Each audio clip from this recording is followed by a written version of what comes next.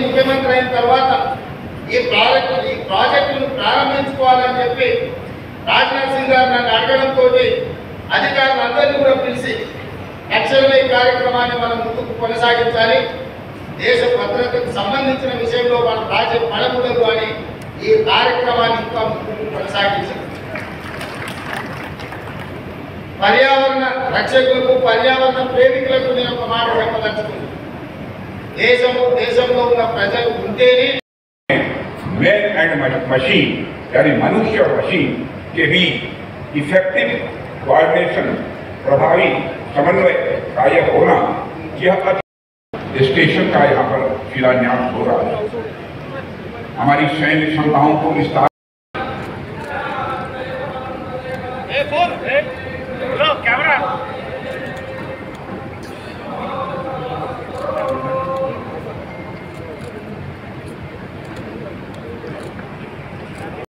इस frequency station के निर्माण से जुड़े सभी स्टेक होल्डर्स को भी मैं अपनी तरफ़ से हार्दिक बधाई देता हूँ।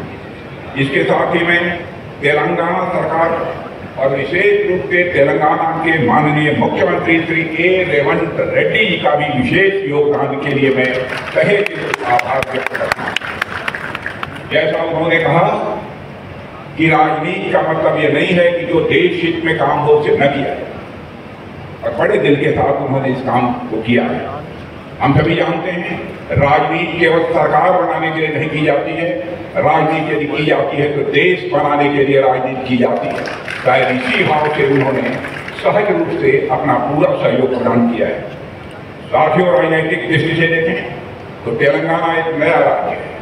लेकिन भौगोलिक व ऐतिहासिक दृष्टिकोण से इसका इतिहास कई हज़ार वर्ष पुराना है।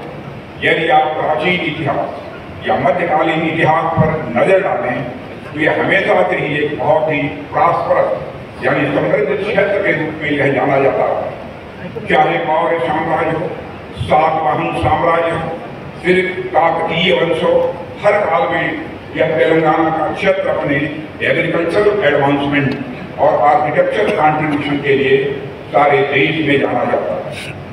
सिर्फ़ प्राचीन काल ही नहीं बल्कि मैं मानता हूँ कि आधुनिक काल में भी तेलंगाना राज्य राष्ट्र की प्रॉस्पेरिटी राष्ट्र की समृद्धि में अपना बहुत बड़ा योगदान देता रहा है। साथियों, प्राचीन काल से लेकर अब तक तेलंगाना की अलावा रक्षा मंत्रालय में या फिर आर्म फोर्सेज में भी तेलंगाना के कई अधिकारियों विश्वेश्वर रेड्डी గారు సభ్యులు డికే అన్న గారు మిత్రుడు ఈ బిఎల్ఎఫ్ పూర్తి చేయాలని పట్టుదలతో దాదాపుగా గత పదిహేను సంవత్సరాల నుంచి నిరంతరం ప్రయత్నం చేస్తున్న అదేవిధంగా శాసనసభ్యులు యాదయ్య గారు తాండూరు శాసనసభ్యులు మనోహర్ రెడ్డి గారు నాబీ చీఫ్ త్రిపాఠీజీ అదేవిధంగా ఇక్కడికి వచ్చేసిన న్యాయ అధికారులు కలెక్టర్లు ఇతర అధికారులందరికీ కూడా నా శుభాకాంక్షలు తెలియజేస్తున్నాను. ఈరోజు దేశ రక్షణలో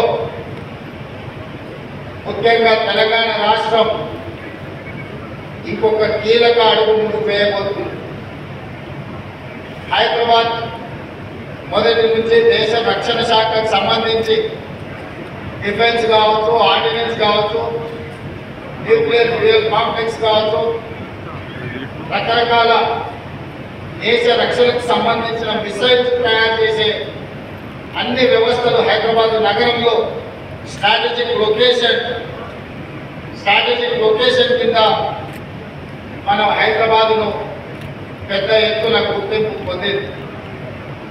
ముఖ్యంగా మన నగరానికి మన రాష్ట్రానికి మూడు వైపుల సముద్రం ఉన్నది.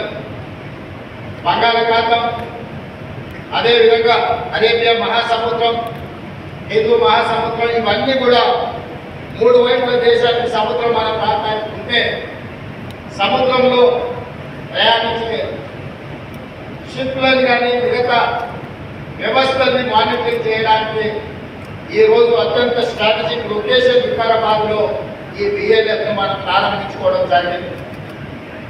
చాలామంది చాలా రకాలుగా ఈ అంశాన్ని వివాదం చేయాలని ఇక్కడ బిఎల్ఎఫ్ నిర్మించడం ద్వారా తెలంగాణ ప్రాంతానికి లేదా ఈ వికారాబాద్ జిల్లా ప్రజలకు అన్యాయం జరుగుతుందని అపోహలు కలిగించే ప్రయత్నం చేస్తున్నారు.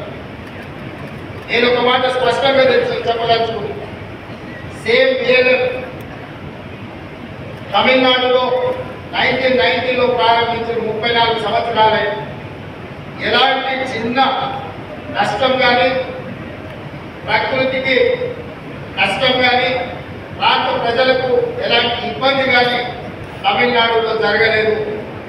ఇవాళ దేశంలో రెండవ బిఎల్ఎఫ్ వికారాబాద్ ప్రాంతంలో మన ప్రాంతంలో రావడం ఈ ప్రాంతానికి గడ్డం ప్రసాద్ కుమార్ గారు స్పీకర్ గారు ప్రాతినిధ్యం వహించడం ఈ జిల్లా ముఖ్యమంత్రిగా నేను ప్రాతినిధ్యం వహించడం మన హయాంలో ఇంత మంచి కార్యక్రమాన్ని తీసుకొని ఈ ప్రారంభోత్సవ కార్యక్రమానికి రాజ్నాథ్ సింగ్ గారే స్వయంగా రావడం ఈ ప్రాజెక్టు యొక్క ప్రాధాన్యత తెలంగాణ సమాజం గుర్తించాలి. వివాదాలకు తెరలేపుతున్న వాళ్ళు దేశ భద్రత